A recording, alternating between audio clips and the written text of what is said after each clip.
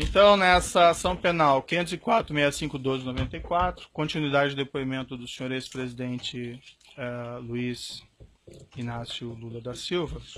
Enfim, senhores presidentes, para nós podermos continuar adiante, há algumas mensagens aqui de executivos da OS que, segundo o Ministério Público, eles tratam em conjunto da reforma do apartamento em Guarujá e da reforma do sítio. O senhor prefere não responder sobre essas questões? Moro, eu, eu, eu vim aqui preparado para responder tudo o que perguntar e para não ficar nervoso. Certo. Se tem uma coisa que eu me preparei é para não ficar nervoso. Agora eu vou lhe dizer uma coisa. Eu não sou obrigado a responder mensagens que o Ministério Público pegou entre duas pessoas alheias a mim. O senhor tem conhecimento se os executivos da OES teriam tratado desses projetos em conjunto? Não tenho conhecimento. O senhor Léo Pinheiro esteve com o senhor ex-presidente no sítio do Atibaia para discutir projetos de reforma do triplex? Não. O senhor Léo Pinheiro esteve com o senhor no sítio Atibaia em 2014? Ele teve, que eu não, ele teve o meu convite. Sim. Mas esse assunto eu vou responder na audiência do, triple, do, do, do, do, do sítio de Atibaia. Essa visita não tinha nenhuma relação com o apartamento em Guarujá? Nada. O senhor Léo Pinheiro apresentou ao senhor ex-presidente o diretor técnico da OS, Paulo Gordilho? Apresentou. O senhor Paulo Gordilho esteve com o senhor ex-presidente no sítio Antibaia? Teve. O senhor saberia explicar o propósito dessa visita? Não, eu convidei. E o senhor convidou o senhor Paulo Mas- Gordilho, tinha algum relacionamento? Esse assunto eu falarei no processo de Atibaia. Certo. O senhor Paulo Gordilho, nessa ocasião, tratou com o senhor de alguma maneira a respeito do apartamento do Guarujá? Não.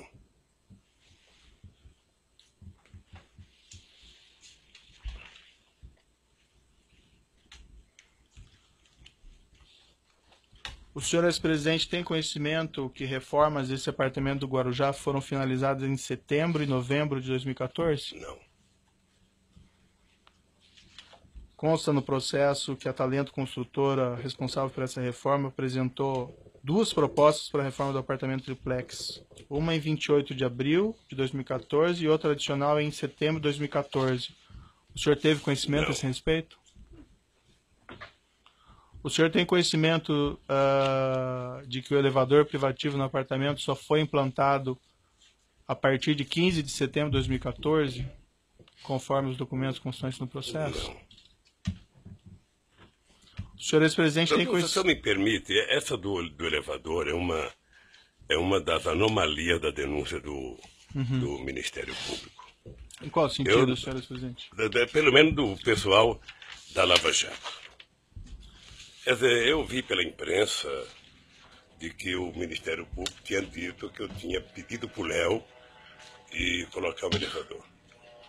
Isso aqui, doutor, é uma escada caracol. Você deve conhecer. Certo. Essa escada tem 16 degraus. Essa escada é do meu apartamento, em que eu moro há 18 anos. A dona Marisa, seis anos, há exatamente seis anos, ela tomava remédio todo santo dia para dona cartilhagem. Será que alguém de bom senso nesse país imagina que eu ia pedir um elevador num apartamento que não era meu e deixar de pedir para fazer um apartamento no, no- no prédio que a dona Marisa mora há 20 anos e que tomava remédio todo santo dia? É no mínimo, é no mínimo, doutor, cumprir o ditado de que quem conta uma mentira passa a vida inteira mentindo para justificar a primeira mentira. O senhor está afirmando que o senhor não solicitou, então, essa reforma do apartamento triplex para colocação desse elevador? Absolutamente.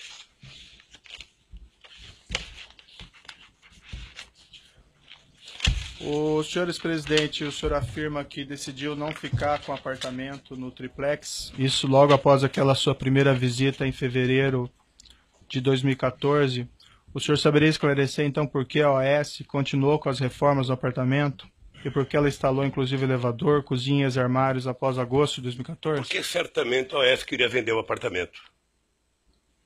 Porque certamente ela queria vender. Parece... E eu acho que ela queria vender de brincadeira, porque, uhum. na verdade, quem colocou aquele prédio, a quantidade de hipoteca que ela fez daquele prédio, sabe, pagando dívida com não sei quantos clientes, ou seja, uh, talvez não tivesse, não tivesse falando para valer. Mas, uhum. obviamente, que ela, ou a empreendedora, queria vender o apartamento. O senhor está dizendo que ela não queria vender os apartamentos do prédio? Não sei não, se eu entendi. Estou dizendo que ela, se estava fazendo a reforma, uhum. com as críticas que eu fiz, é porque ela queria vender o apartamento. Sei. É? Acontece que ao mesmo tempo em que ela disse que o apartamento, sabe, que, que o apartamento era reservado para mim, eu vi aqui depoimento dizendo, ela colocou esse apartamento como hipoteca em vários momentos da sua uhum. transação. Sei. O senhor Até... tem conhecimento que ela fez isso com todos os apartamentos? Eu tenho visto, não, não sei. Eu tenho visto aqui nos depoimentos. Você sabe que eu ah, acompanho os depoimentos. Perfeito. Por isso que eu queria que fosse televisionado direto. O senhor tem conhecimento que esse procedimento é um procedimento normal de financiamento dos apartamentos? Colocar ele em garantia de emissão sei, de debêntures? Não sei, não sei, O senhor tem conhecimento, por exemplo, que nesse apartamento 141 que o senhor, em princípio, teria adquirido a cota ou sua esposa, esse mesmo procedimento de emissão de debêntures foi realizado? Não sei, não sei. Não? Certo. Várias testemunhas e executivos, empregados da OS afirmaram aqui que o apartamento estaria sendo reformado para atender o senhor ex-presidente e a senhora sua esposa.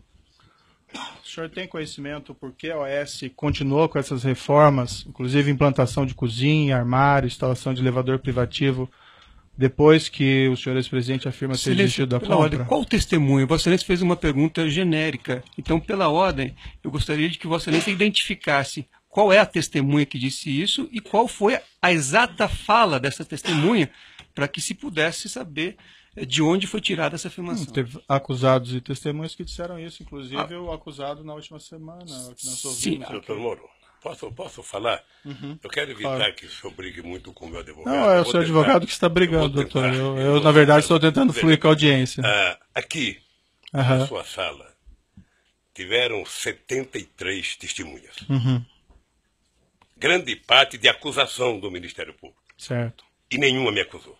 Uhum. O que aconteceu nos últimos 30 dias, doutor Moro, vai passar para a história como o mês Lula. Sei porque foi o mês em que vocês trabalharam, sobretudo o Ministério Público, para trazer todo mundo para falar uma senha chamada Lula. Hum. Sabe? O objetivo era dizer Lula. Se não dissesse Lula, não valia. O senhor entende eu que existe uma conspiração? Não, eu acompanho... não, não, eu não. Eu entendo e acompanho pela imprensa de que pessoas como Léo Pinheiro hum. está já há algum tempo querendo fazer delação. Sim. Primeiro ele foi condenado a 23 anos de cadeia, uhum. depois se mostra na televisão como é que vive a vida de nababo dos delatores. Sim. E o cara fala, porra, eu estou condenado a 23 anos, sabe? E os delatores, sabe, deram, pagaram uma parte, estão vivendo essa vida. Uhum. Sabe? Então, delatar virou, na verdade, quase que o avaral de, avaral de soltura dessa gente. Uhum. Eu tenho acompanhado, estou atento e estou percebendo que há. O, o, eu, eu, vou discutir em algum momento o contexto. O contexto está baseado num, num PowerPoint mal feito, mentiroso, certo, doutor, da Operação Lava Jato. Senhores presidentes, que, aliás, o, o doutor Delayol, que fez a apresentação, não está aqui. Uhum. Deveria estar aqui. Para ele explicar aquele famoso PowerPoint. Certo. Sabe? Aquilo é uma caçamba, Perfeito. onde cabe tudo. Aquele PowerPoint, doutor, não está julgando Lula, pessoa física ou pessoa jurídica. Está julgando Lula, presidente da República. Certo. E isso eu quero discutir. Senhores presidente, várias aqui testemunhas e também executivos, empregados da OS, inclusive ouvidos na semana passada ou retrasada, afirmaram que essas reformas teriam feito, sido feitas ah, no interesse do senhor ex-presidente e da sua senhora, sua esposa. O senhor tem conhecimento, senhor presidente, por que eles fizeram essas reformas, essas alterações, quando o senhor afirma que, não, que já teria desistido da compra? Tem que perguntar para eles. O senhor ex-presidente sabe explicar por que, em princípio, nenhum dos executivos ou empregados da OS Empreendimentos, ouvidos em juízo, informou ter conhecimento de que o senhor ex-presidente teria desistido da compra do apartamento triplex? Também não afirmaram que eu tinha pedido. Hum. O senhor ex-presidente e sua esposa pleitearam ao OS em algum momento a restituição dos valores pagos pela cota do apartamento 141? Nós entramos com um processo, está na justiça, para a gente requerer o que foi pago. O senhor, ex-presidente, se recorda quando isso ocorreu? Ah, não tenho a data. Mas ocorreu. Consta no processo que essa restituição foi solicitada ao S somente em 26 de 11 de 2015. Eu não sei Seria isso? Foi, eu não sei quando foi requisitado. Esse documento está no evento 85, Alt 11. O que eu sei é que, tanto quanto eu, a Bangkok foi taxada de uma organização criminosa pelo Ministério Público. Faz dois meses que a Bangkok foi absolvida, o Bacari foi absolvido, e ninguém que o acusou teve a coragem de pedir desculpas. Certo. Acho que os, o senhor ex-presidente está se referindo a um outro processo, não a esse processo ou a esse Ministério Público. Perfeito. Mas consta nos autos um termo de declaração, compromisso requerimento de demissão do quadro de sócios da seccional Mar Cantábrico do Barcon Bangkok, que depois veio a ser o condomínio Solares, assinado pela senhora sua esposa. Eu posso lhe mostrar o Isso documento? quando? Isso em 2009, a data que tem no documento. Posso lhe mostrar aqui? Ela assinou em 2009? Isso. Isso está no evento 85 Alt 11. O senhor ex-presidente sabe explicar as circunstâncias da assinatura desse termo de demissão?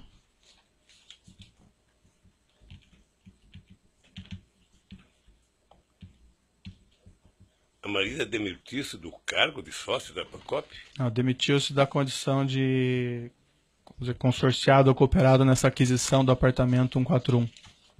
Isso depois que a OAS assumiu. O documento consta 2009. Bom, o senhor disse que a OAS assumiu em 2009. Isso, isso, isso. A OAS assumiu numa reunião da cooperativa, Certo. com a participação do Ministério Público de São Paulo. Foi um TAC. E a dona Marisa, ela acho que ela só foi dar, porque eu vi um depoimento aqui da semana passada do, do, do Paulo Camoto, que somente em 2012 ela autorizou ah, a se desfazer do apartamento. E o senhor sabe me explicar esse, esse documento que eu lhe mostrei? Se o Ah, senhor quiser examinar com mais calma. Quem pode explicar? Não. Quem pode explicar deve ser o.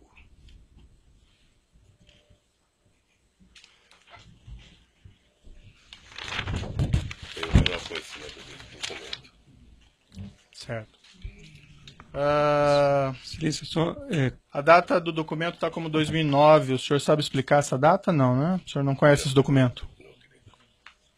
Não conheço. No mesmo documento, senhor presidente, o senhor sabe explicar porque a restituição das parcelas pagas por esse unidade 141 tem previsão de início da restituição em 27 de 10 de 2010? Não sei. O senhor presidente sabe explicar nesse mesmo documento porque os valores da restituição estão corrigidos somente até outubro de 2009?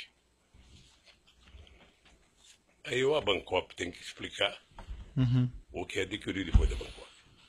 O senhor mencionou agora há pouco que ah, a senhora, sua esposa, tinha essa cota junto à Bangkok relativamente à aquisição desse apartamento e que em 2012, salvo engano, foi isso que o senhor disse? Que ele foi informado a ela que seria Eu vi- vendido? Eu vi aqui, não sei se, se eu ouvi direito, mas eu ouvi no depoimento. Deixa, deixa só dizer uma coisa. Eu Certo. ouvi falar desse apartamento em 2005, quando comprou. É Só o senhor falar no E microfone. fui né? voltar a ouvir falar do apartamento em 2013. Certo. Ou seja, ao interregno de discutir esse apartamento da minha parte de 2005 a 2013. Né? Ah, ninguém nunca conversou comigo. Eu não sabia que esse apartamento estava no AS. Eu sabia, eu só queria, doutor Moro, pedir uma coisa. É, é muito difícil para mim, toda hora que o senhor cita a minha mulher, sem ela poder estar aqui para se defender. É muito difícil. Não, eu não estou acusando ela de É, Não, nada. eu sei que você não está acusando, mas é que o senhor pergunta coisa se eu vi, se eu não vi, se eu vi, eu não vi, sabe? É que o documento está assinado É, por ela, eu- então, eu- infelizmente... eu- é uma pena que, Não. que uma das causas que ela morreu foi a pressão que ela sofreu. Hum. Então eu não quero nem, nem discutir isso, doutor. Sei. Sabe? Quando se tratar dela, eu gostaria que o senhor. Esse pedido de restituição que o senhor fez à OAS de devolução desses valores em 26 de 11 de 2015. Excelência, pela ordem, é, não há, o ex-presidente Lula não fez pedido de restituição.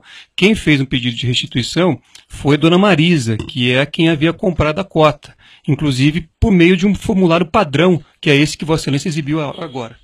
Esse documento, é, é, esse pedido de restituição que o senhor ou que a senhora sua esposa teria feito de restituição dos valores pagos pela unidade 141 Uh, os senhores presidentes têm conhecimento se isso foi formulado antes ou depois da prisão preventiva do senhor Léo Pinheiro, em novembro de 2014? Ah, não sei, não sei.